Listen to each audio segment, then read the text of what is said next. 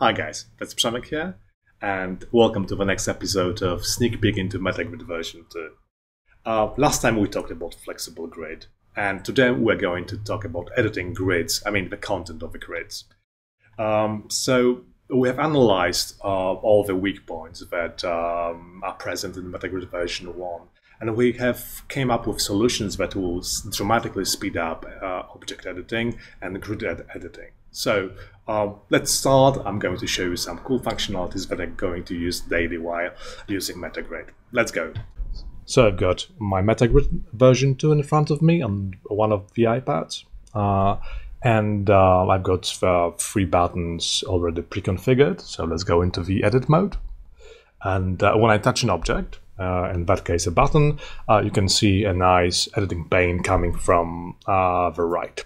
This will enable us to do several things. So first of all, you'll see the grid in uh, your object in context. Uh, so you, you can pan left and right to see the context and to go to the other obje object. So when I touch an object, the editing uh, panel changes, uh, reflects the uh, parameters set for the given object, right? Um, as you know, uh, in MetaGrid version 2, we have implemented uh, several button types. Uh, the uh, latching switches and uh, the momentary switches. So uh, when I tap a, a, latching switch, you can see you've got the latch on and latch off state. So when I press latch on, all the latching switches uh, will change uh, their state to on on the grid, and uh, all the objects which are not latching will be dimmed. Uh, that way you will be able to see them in context and uh, to edit uh, the latch on uh, state. It's very helpful. Um, what else? Um, apart from all the parameters that we are going to edit for uh, for the buttons and other objects that will come in the future, uh, we have finally implemented the multi-selection. Uh, it's going to be a great help for us, so let's see how it works. When I press the multi button over here, now I can select multiple buttons like that, right? So uh, let's say I want to copy the three buttons here, over here, so I press copy, and then I select uh, by panning right uh, three other buttons on the grid, I press paste. Here we go. Uh, that's very fast and uh, personally i love it. Uh, i can do it also uh, between the grids. So i go to the uh, the other scene i select uh, the, the uh, target buttons and i press paste.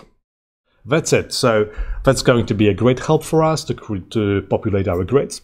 And apart from that we've got the style functionality. Um, so when I press the style, uh, you can see the uh, button um, parameters and, and in some groups. So when I um, enable uh, this functionality, now I'm um, specifying the uh, parameters that I want to copy. So let's say I want to just copy the background color, all right? So I press background color and I copy uh, this button and uh, I multi-select uh, five other buttons and I press paste and voila uh, the background parameter the background color parameter has been pasted into the selected five buttons. So that were the new functionalities for editing grids in MetaGrid version 2. I hope you liked it. I personally love them. Uh, it will make editing my grids and uh, easier, uh, more intuitive, basically more streamlined. Um, so keep your fingers crossed for us. We are doing our best. We are working extremely hard to deliver this product. Um, we'll meet next time, and um, next time I'm going to talk about the styling options in MetaGrid version 2, which are quite quite nice, and I, and again I love them, so I can't wait to share them with you. So stay in tuned, keep safe, and see you next time. Bye.